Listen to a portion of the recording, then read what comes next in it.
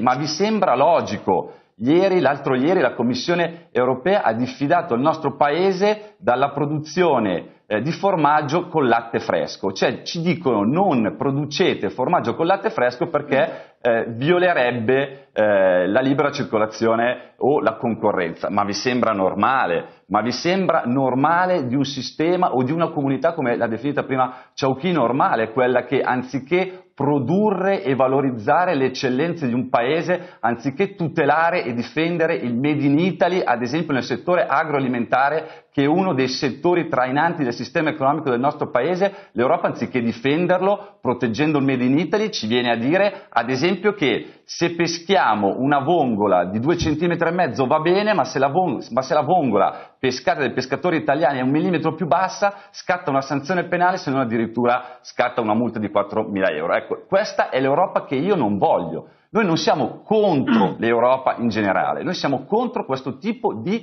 Europa, l'Europa delle banche,